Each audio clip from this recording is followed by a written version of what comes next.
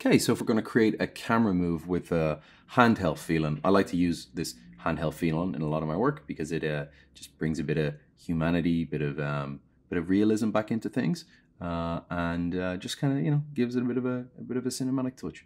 So the first thing to do, I like to do with these sort of uh, camera moves is create a dummy and create a dummy around the, the focal point of uh, what we're going to look at. So in this case, we're obviously looking at the log here. Um, so I'm going to create a dummy just right in the middle of the, the, the, the action here.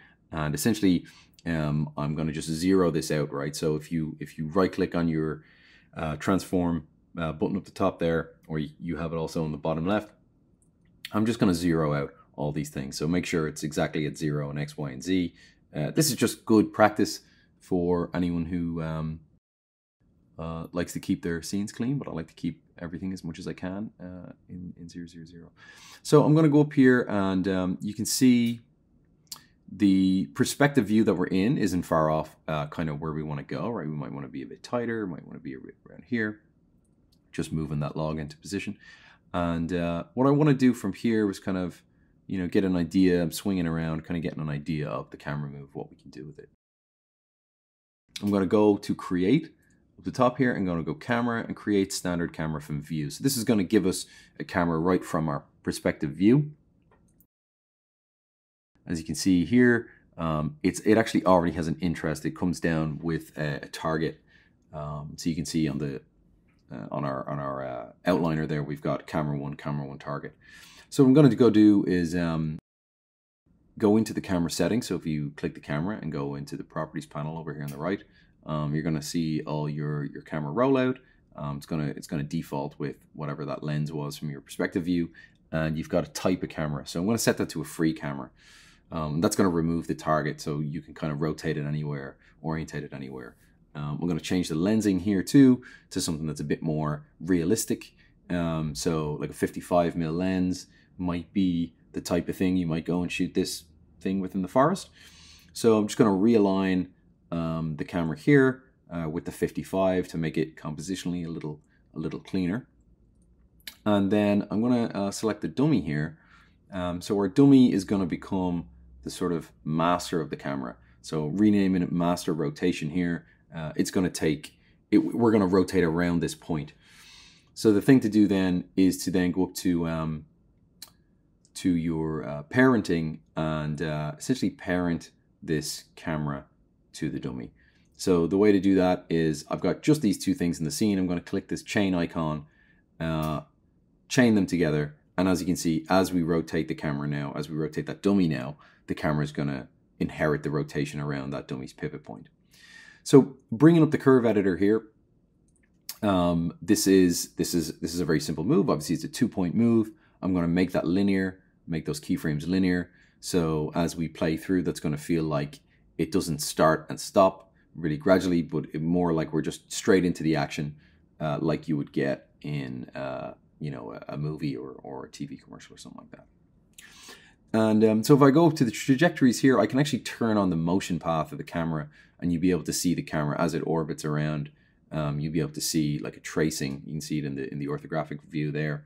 Uh, it kind of traces the motion there and you can see uh, the trajectory of the camera and where it's going.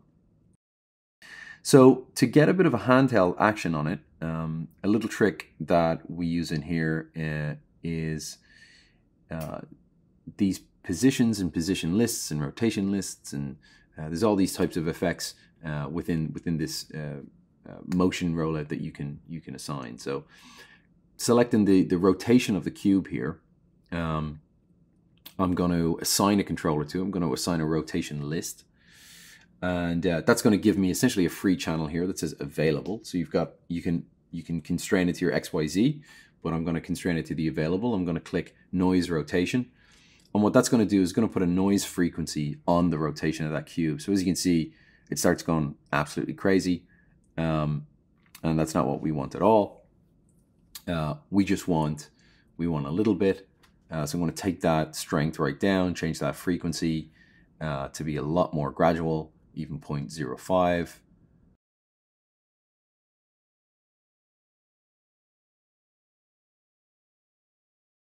it's adding just that little bit of kind of uncertainty that you wouldn't be able to get from keyframes. Even if I take it down 0.01 here, you can see that it just gives a little bit of a uh, keep alive, just a little bit of motion um, that really sells it uh, overall. So uh, these are really handy techniques to use um, just to get that extra little bit of, of realism uh, into your scene. So you can see here that's changed the actual trajectory of the camera. It, it matches very well to that curve there. Um, that trajectory curve you can see feels really like the uh, characteristic graph from the noise controller. Next thing we want to do is this feels this feels like it we could just kind of reorientate the camera a little bit but that move in general is feeling pretty good. So what I'm going to do, you can see it from all views here, looks pretty cool. So what I'm going to do is just move the camera around a bit and um, I'm going to actually, or I'm just going to animate the uh, the cube itself in in Z here, um, Z up in max. So you can see that we just kind of gradually come up. So it's got a little bit of a mix of that mechanical boom, and it's also got a little bit of that handheld motion. So just to make that linear, I'm going to pop into the curve editor here, uh, bring up my Z position. You can see it's it's Bezier by default, and I'm just going to hit the uh, the straighten out tangents there. So you can see it's got that very mechanical boom um, with a little bit of handheld rotation on it, which is just giving us a little bit of realism. You can also apply this rotation to the camera.